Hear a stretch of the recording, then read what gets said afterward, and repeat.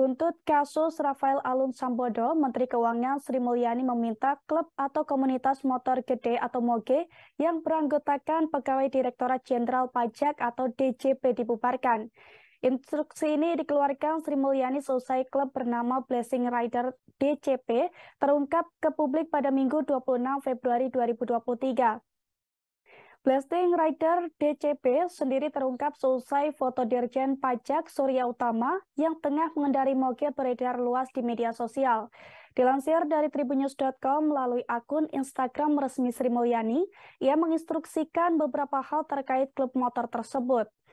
Pertama, Sri Mulyani meminta kepada Dirjen Pajak untuk menjelaskan dan menyampaikan kepada masyarakat mengenai jumlah harta kekayaan Dirjen Pajak sekaligus menjelaskan pula dari mana sumber kekayaan tersebut diperoleh seperti yang dilaporkan pada LHKPN. Kemudian yang kedua, Sri Mulyani juga meminta agar klub Blasting Rider DCB dibubarkan. Pasalnya hobi dan gaya hidup mengendarai moge menimbulkan persepsi negatif masyarakat, termasuk menimbulkan kecurigaan mengenai sumber kekayaan para pegawai DCB.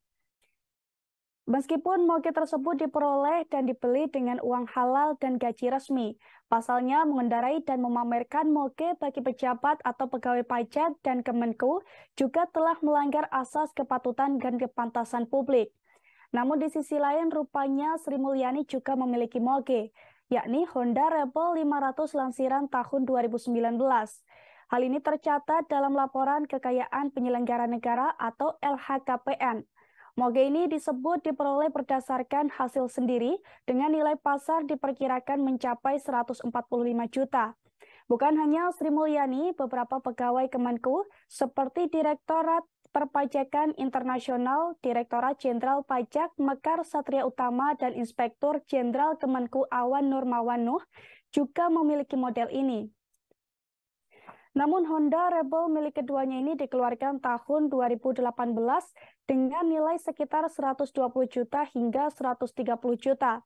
Selain itu, Sekretaris Direktorat Jenderal Pajak Penny Hercanto juga diketahui meminang Rebel produksi 2019 dengan perkiraan harga saat ini 158 juta.